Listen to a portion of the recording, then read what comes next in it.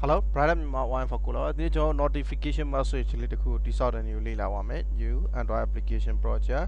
notification message message လို့နာမည်ပေးလိုက်မယ် um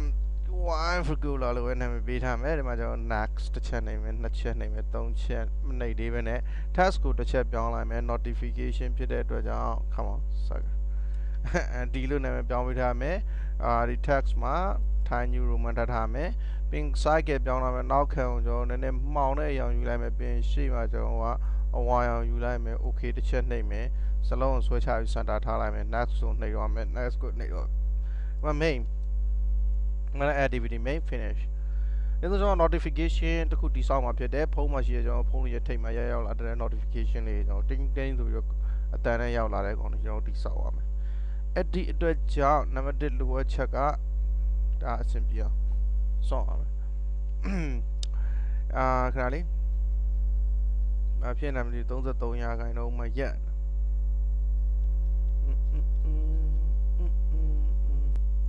โอเคအခုဒီပုံစံအခြေအနေရှိနေပြီအာ main ရဲ့ပြီးတော့ကျွန်တော်ဒီမှာလာပြီးတော့ rust ထဲမှာရှိတဲ့ layout တွေက main ရဲ့တစ်ချက်ရလာပြီ rust ထဲမှာရှိတဲ့ layout ဘင်းမှာကျွန်တော် high text value ကိုတစ်ချက်ဖြတ်ချလိုက်မယ် come on ဘာမှလုံးလုံးကန်လို့မရဘူးအာပြီးတော့ဒီမှာလာပြီးတော့ကျွန်တော် button တစ်ခုဆွဲထည့်ထားမယ်အာလွယ်အောင်လို့ button တစ်ခုဆွဲထည့်မယ်ပြီးရင် feedback တစ်ချက်လုပ်ထားမယ် double click နှိပ်မယ်သူ btn လို့ပဲနာမည်ပေးထားလိုက်မယ်လွယ်လေး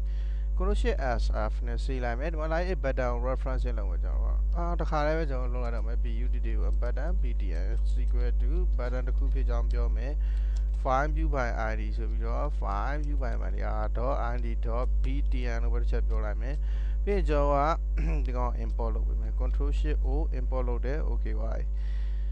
အာဒီအောက်ကမလိုတဲ့ကောင်တစ်ချက်ဖြတ်ထားမယ် notification manager ကိုသုံးအောင်မှာဖြစ်တဲ့အတွက်ကြောင့် notification manager ကို instant object တိစောက်ပေးလိုက် instant sheet instant object တိစောက် import လုပ်ပြီးပြီးတော့ဒီပဒံမသုံးတဲ့အတွက်အတွက်အတွက်ပြက်နာရှာနာ set on click list နာတစ်ချက်ထည့်ပြီး disk ကိုတစ်ချက်နေတာသူ့ကြောင့်က implement နဲ့ unimplement method တစ်ချက်ထည့်ပြီးမယ် implement method အဲ့လိုပဲဟဲ့ဒီမှာလာပြီးတော့ implement method တစ်ချက်ထည့်ထားမယ်အာ notification manager အားလုံး okay ပါပြီပြီးတော့ကျွန်တော်ကဒီရဲ့ nm ဆိုတဲ့ notification manager ကိုလာပြီး reference လာလုပ်ပေးမယ် nm is equal to သူက noti come on notification manager ဖြစ်မယ်သူ get s1dm system scfwnc service ကနေလိုင်းယူမယ်ယူမဲ့ service က not အာ n ဆိုပြီးတော့ noti notification service ကိုလိုင်းယူမှာကျွန်တော်ကခုကျွန်တော် notification service ဆိုတာက Android ရဲ့အပေါ်ဘားလေးမှရှိမယ်ကောင်သူက banding intent intent တစ်ခုလိုတယ်သူ့ကို clone နှိပ်လိုက်ရင်ဟောစာမျက်နှာလေးတစ်မျက်နှာကြာလာမယ်အဲ့ဒီစာမျက်နှာထဲမှာမှကျွန်တော်တို့ရဲ့ intent ကအပေါ်မှာပေါ်နေလိမ့်မယ်ဒီလိုကြောင့်ကျွန်တော် intent တစ်ခုတည်ဆောက်လိုက်ရင်ဒီ int ent intent i int come on and in x equal to new int ent intent ဒီ intent ကဘာလို့လုံးမှာလဲဆိုတော့ကျွန်တော်က this ဆိုဒီ class ကနေပြီးတော့ main.class ဆိုပြီးဒီ class ကိုပဲပြန်သွားခိုင်းမယ် operator click နှိပ်လာတဲ့ခါကျရင်ပြီးရင်ကျွန်တော်ကနောက်တစ်ဆင့်မှာ pending intent တိစောက်မယ် bnd ing pending ind nd intent pin is equal to new uh be uh sorry new မဟုတ် bnd ing pending ind nd intent dot ဆိုပြီးတော့ pending intent ဆိုပြီးတော့ပဲထားမယ် pending intent ဒီ pending intent မှာပွာ import လုပ်ပေးရမယ် pending intent import လုပ်ပေးရမယ် ပြင်ကျော်တူမှာအာစလုံးပေါင်းမှားနေတယ် pending intent မှာ parameter တချို့ပါမယ်အဲ့ဒီ parameter တချို့ကအာဘယ် class မှာအလုပ်လုပ်မှာလဲကျွန်တော်က this ဆိုတော့ဒီ class မှာအလုပ်လုပ်မယ်လို့ပြောမယ်အလုပ်လုပ်မဲ့ request code ကို0လို့ထားမယ်အလုပ်လုပ်မဲ့ intent ကိုတော့ကျွန်တော်ပေါ်က intent ပဲထားမယ်ပြီးတော့အော်နံပါတ်နံပါတ်1က activity ပဲ activity မှာအလုပ်လုပ်အောင်နံပါတ်2က request code နံပါတ်3ကကျတော့ intent နံပါတ်4ကကျတော့ flag flag လဲကျွန်တော်မသုံးဘူး0ပဲခဏထားထားမယ် okay ဒါတော့ရပြီဒီမှာ pending intent တိတက်မဟုတ်ဘူး pending intent get activity ဆိုပြီးတော့ကျွန်တော် activity ရယူပါမှာဒီမှာ activity ရယူလိုက်ပြီပြီးရင်ပထမအဲ့ဒါကြမှာကျွန်တော်တို့ဒီမှာလာပြီးတော့ command တွေဖော်ပြလိုက်မယ် contacts က dix ပြီးရင် request code ကကျွန်တော်ဆောင်းမပြောခဲ့လို့ပဲ0 intent က in ကျွန်တော်ပုံမှန်တိစောက်ခဲ့တဲ့ intent in flag ကကြတော့မသုံးဖြစ်တဲ့အတွက်ကျွန်တော်0ပဲထားလိုက်ပြီးရ င်ကျွန်တော်ဘာလုပ်မလဲဆိုတော့ string data type နဲ့ string string ကျွန်တော်ရဲ့ notification message မှာပြောဖော်ပြရမယ်စာအောက်တိစောက်မယ် body is equal to i am sending you a new new andr1 android fadui feature my butty buddy အလို့များကိစ္စလိုက်ရှုံတယ် my buddy ပြင်ကြော was string tindin title is equal to uh wamvqla wife very nice okay control shift s ဆိုပြီးတော့ save ထားလိုက်မယ်ပြီးရင်ကျွန်တော် notification တစ်ခုတည်ဆောက်မယ် notification and x equal to အာသူကကြတော့ notification and new notification ဆိုပြီးတော့ notification အတစ်တည်ဆောက်မယ် control shift o နဲ့ import လုပ်ပေးမယ်ဒီမှာကျွန်တော်က parameter က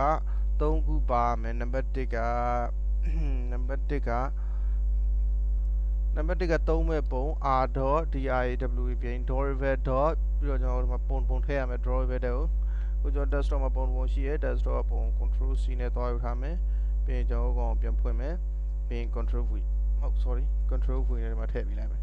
ပြီးရင် r.derivative. ဆိုပြီးတော့ကျွန်တော်ရဲ့ icon ပုံလေးကိုထည့်ပြီးရမယ် icon လို့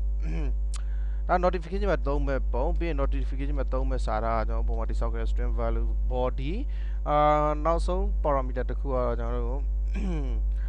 အာ icon ပါမယ် body ပါမယ်ပြီးရင်သူက um current time ပါမယ်အချိန်ကကြတော့အဲ့တော့ကျွန်တော် SIM system.current time millisecond ဆိုပြီးယူပေးလိုက်အာနောက်တစ်ချက်ကကျတော့ notification ရဲ့ latest info ယူမယ် and dot uh and dot get and dot set latest event info context ကတော့ disk ပဲ content တိုင်တွေကကျွန်တော်ဥပမာတိဆောက်ခဲ့တဲ့တိုင်တယ်ဆိုတဲ့ string အာ content text ကကြတော့ကျွန်တော်ရဲ့ bo d1 body context ရဲ့ intent ကကြတော့ကျွန်တော်ရဲ့ pi ဆိုတဲ့ဘောက pending intent ကိုကျွန်တော်တစ်ချက်ပြီးလိုက်မယ် pending intent ဆိုတာလည်းအလုံးမလို့တော့အစင်တင်လောက်ထားတယ်ခဏပြီးရင် and dot ဆိုပြီးတော့နောက်ဆုံးတစ်ခုဖြစ်တဲ့ and dot အာ and dot ဆိုပြီးတော့ဒီမှာတစ်ခုက and dot default သူရဲ့ default ကိုကျွန်တော်သတ်မှတ်ပေးရမယ် default အတန်းဘယ်လိုလာမှာလဲဘယ်လိုပေါ်ပြမှာလဲပေါ့ အဲ့ဒါကိုကျွန်တော်က notification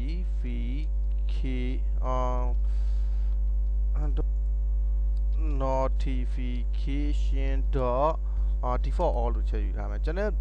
feature အများကြီးရှိတယ်ကျွန်တော်လောလောဆယ် default all ပဲတုံးထားမယ်ပြီးရင်ကျွန်တော်ကအပေါ်မှာရှိတဲ့ notification manager ကို notify လုပ်ပေးမယ် notify လုပ်တဲ့ခါမှာပါမီတာကျွန်တော်နှစ်ခုပါပြီးလို့တော့မယ် URI QE unique ID ရယ်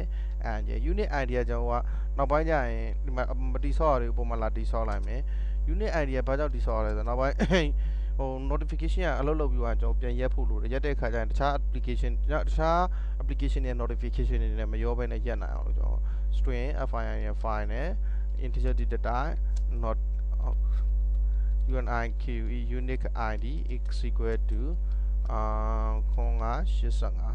0585ကြိုက်တာပြီးလို့ရတယ်ကျွန်တော်0585လို့ပြီးထား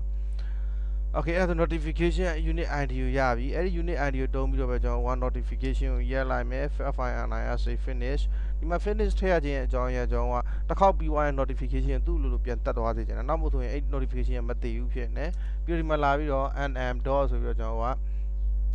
cancel သူ့ကို cancel လုပ်တဲ့အခါမှာ unit id ကိုကျွန်တော်က cancel လုပ်ခိုင်းလိုက်မယ်ကိုရပြီ save all ပြီး project ကို run ကြည့်မယ်အာဖုန်းနဲ့ကျွန်တော်တစ်ချက်စမ်းပြမယ်စမ်းမြင်ပြပြီ DDMS okay နှစ်ချက်နှိပ်လိုက်ပြီးရင် DDMS ကိုနှစ်ချက်နှိပ်ပြီးဖွင့်တာအာဖုန်းရဲ့အခြေအနေတိုင်းတွားနေပြီကျွန်တော်အာဒီမှာရပြီကျွန်တော်ဒီပုံစံလေးရှိနေမိတ်ဆွေတို့ချက်ကြည့်တာပါတစ်ချက်နှိပ်ထားဒီမှာကျွန်တော် capture screen capture နဲ့တစ်ချက်ပြရမယ်ဒီပုံစံလေးဖြစ်နေမယ် ဒီ pattern လေးကိုနှိပ်လိုက်ရင်အပေါ်မှာ notification ပါလေးအတန်နဲ့ပေါ်လာလိမ့်မယ်ကျွန်တော်နှိပ်လိုက်ပြီအတန်နဲ့ပေါ်လာပြီကျွန်တော်တစ်ချက်ပြရမယ်မိတ်ဆွေတို့ refresh um sorry refresh လုပ်တာနဲ့နှီးသွားကျွန်တော်နောက်တစ်ခေါက်ပြန်နှိပ်မယ်မြင်မြင်ပြန်လှုပ်မယ် capture အော်ပုံမှန်မြန်မာ hi buddy fucking name is one for cooler ဆိုတွေ့ရနိုင်မယ် okay အဲ့ဒါကိုကျွန်တော်ကအော်မဟုတ်ဘူးဒါမဟုတ်ဘူး notification မှားနေကျွန်တော် notification မှားနေတယ်ဆိုတော့တစ်ချက်ပြန်ကြည့်ရမယ် notification မှာ I'm sending you a new message I am sending you a new message အော် sorry နှစ်ခုရောသွားလို့ဆိုတော့တစ်ခုကိုကျွန်တော်တက်လိုက်မယ်ပြီးရင်မိတ်ဆွေတို့ပြန်ပြရမယ်ဒီမှာကျွန်တော်ရတယ်မမှားဘူး notification နှစ်ခုရော Wi-Fi ကိုလာ I'm sending you a new Android feature ဒီမှာကျွန်တော်ဒီကောင်တစ်ချက်နှိပ်လိုက်တာ ਨੇ အခုဟို Wi-Fi ကိုလာဆိုတဲ့ကောင်တစ်ချက်နှိပ်လိုက်တယ် ਨੇ ဟိုဘက်က class ကိုပြန်အောင်မယ်ကျွန်တော်အခုနှိပ်လိုက်ပြီနှိပ်လိုက်ပြီးတော့မိတ်ဆွေတို့ဒီမှာ refresh ပြန်လုပ်ပြမယ် ဇုံး main class ကိုပြန်ရောက်သွားတာတွေ့ရတယ်မယ်ဒီမှာတစ်ချက်ပြန်နှိပ်လိုက်ရင် button မှာတစ်ချက်ပြန်နေ notification ပြန်ပြမယ်ကျွန်တော် refresh ပြန်ပြန်လုပ်မယ်မိတ်ဆွေတို့မြင်ရအောင်လို့ I'm sending you new Android feature buddy ဆိုပြီးတော့ပြီးရင်ကျွန်တော်အဲဆွဲချလိုက်မယ် refresh ပြန်လုပ်မယ်ဒီမှာ notification message လေးတစ်ခုရောက်လာမယ် Wi-Fi ကိုလာ sending ကိုအကောင်လေးကိုတစ်ချက်နှိပ်လိုက်ရင်ကျွန်တော်တို့ဟော main class ကို main class ကိုပြန်ခေါ်သွားပြီမယ်ဒါပဲအခုလုပ်တော့တာကျွန်တော်ဒီမှာ main class ကိုဘာကြောင့်ခေါ်ရလဲဆိုတော့ကျွန်တော်က planning intern ရဲ့ activity မှာ this ရဲ့ oh sorry အဲ in ကျွန်တော်ရဲ့ intern မှာ this ဆိုတဲ့ဒီ class ရဲ့ main.class ဆိုပြီးတော့ပြန်ခေါ်ထားတာတစ်ချက်ပြန်ခေါ်ထားလို့ကျေးဇူးများတင်ပါတယ် Wi-Fi ကိုလာ private မြန်မာ